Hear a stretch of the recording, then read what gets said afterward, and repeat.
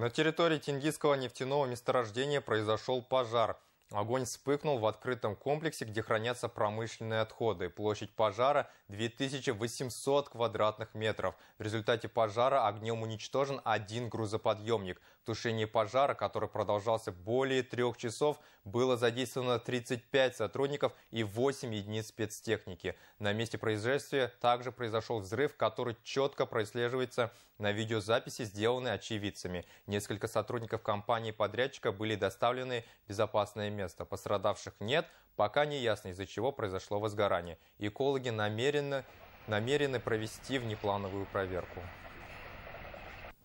На сегодняшний день мы говорим то, что а, полностью прорабатывали вопрос, то есть там а, стоит печь, которая сжигает данные нефте, нефтеотходы, которые уже непригодны для использования. А, возможно, искра оттуда пошла, но это опять же мы говорим сейчас, это предварительная причина.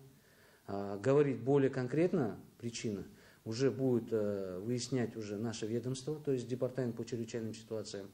И более позднее мы вам уже скажем результаты, из-за чего была причина. Если будет э, доказана вина уже самого юридического лица, то, соответственно, юридическое лицо будет привлечено к административной ответственности.